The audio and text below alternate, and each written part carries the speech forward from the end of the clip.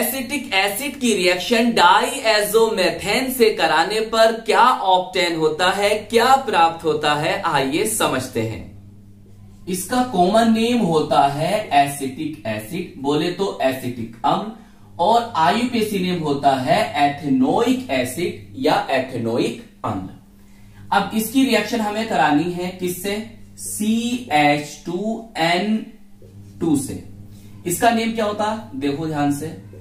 Die nitrogen azo एक carbon है, methane. तो डाई एजो मीथेन या डाई एजो मैथेन जैसा आप बोलना चाहो। इसकी रिएक्शन करानी है हमें।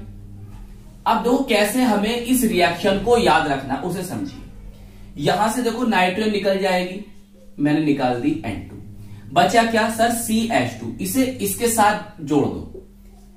C H three C double O clear एक हाइड्रोजन ये है और एक ये, दो ये हैं तो कितने होगा? तीन हाइड्रोजन तो ये क्या बना? ये बना बेटा आपका ester. C double O group आ गया. इधर भी कार्बन इधर भी कार्बन तो ये क्या बन गया? एक एस्टर बन गया. एस्टर तो हम इस रिएक्शन को एस्ट्रीफिकेशन बोल सकते हैं. इसमें एस्टर का फॉर्मेशन हुआ है एस्टर का निर्माण हुआ है तो हम इस रिएक्शन को एस्ट्रीफिकेशन बोल सकते हैं. जी सर, बोल सकते हैं.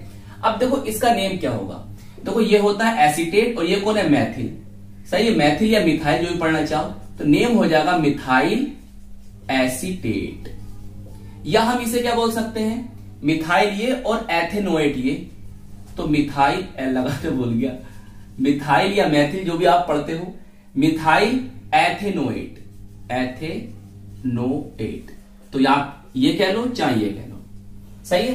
तो इस प्रकार से हम एसिटिक एसिड से क्या बना सकते हैं? एक एस्टर को, जिसका नाम मिथाइल एसिटेट है, या फिर मिथाइल एथेनोएट भी आप इसको बोल सकते हैं।